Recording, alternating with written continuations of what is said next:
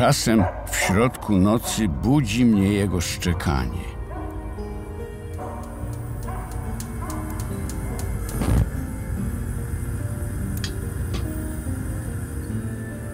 Chciałbym, żeby to był tylko sen, ale on istniał naprawdę. Choć są tacy, którzy dziś w to nie wierzą, a nawet mówią, że to bajka. Wydarzyło się to w czasie wojny. Z getta Niemcy wywieźli nas bydlęcymi wagonami do Treblinki.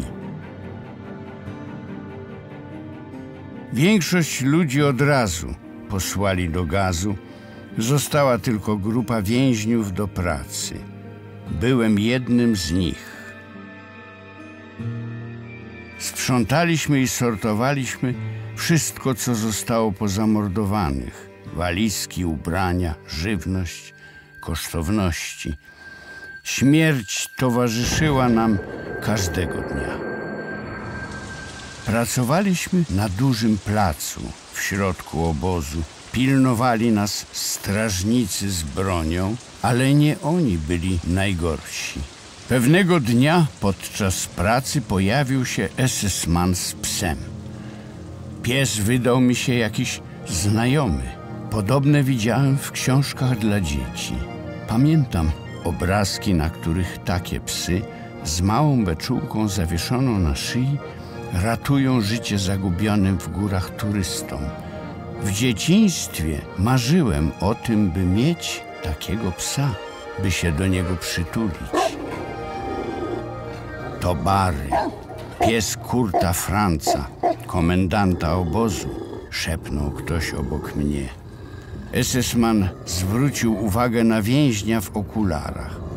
Franc z niesmakiem przyglądał się okularnikowi, Nagle krzyknął: Człowieku, bierz tego psa.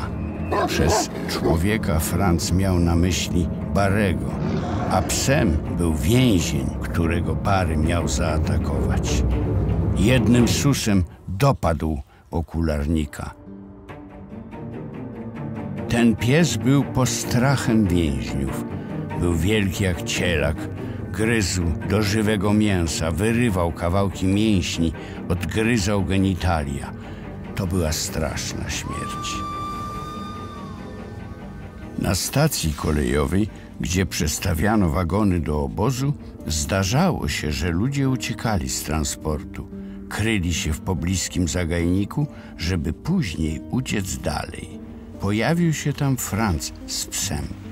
Bary wyczuł coś i pociągnął SS-mana za sobą w zarośla. Leżała tam młoda kobieta z kilkumiesięcznym dzieckiem. Kobieta prawdopodobnie już nie żyła. Niemowlę tuliło się do matki. SS-man krzyknął do psa i spuścił go ze smyczy. Bary podbiegł do nich i wyciągnął się, jakby szykował do skoku, by ich gryźć i rozrywać na kawałki. Jednak po chwili zbliżył się do leżących, zaczął skomleć i lizać dziecko po rączkach, twarzy i główce. Wściekły esesman zaklął i uderzył psa biczem. Bary uciekł w zarośla. Franc kopnął martwą kobietę, a następnie zaczął kopać dziecko i deptać po głowie. Potem ruszył przez krzaki, gwizdaniem nawołując psa. Esesman wyszedł z zagajnika, a po chwili Bary przybiegł do swego pana. Franc zaczął go chłostać bezlitośnie biczem. Pies wył, szczekał, próbował skoczyć na esesmana, ale razy zadawane biczem powstrzymały go. Na rozkaz swego pana pies położył się na brzuchu. Niemiec odszedł kilka kroków i kazał psu czołgać się do nogi. Bary posłuchał.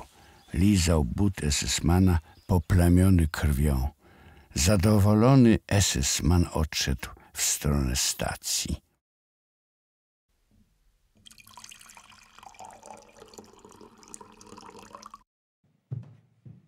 Podobno po wojnie Bary trafił do nowego pana na wieś. Był łagodnym psem. Nigdy nie ugryzł nikogo. W 1947 roku zniedołężniały ze starości na prośbę właścicieli został uśpiony.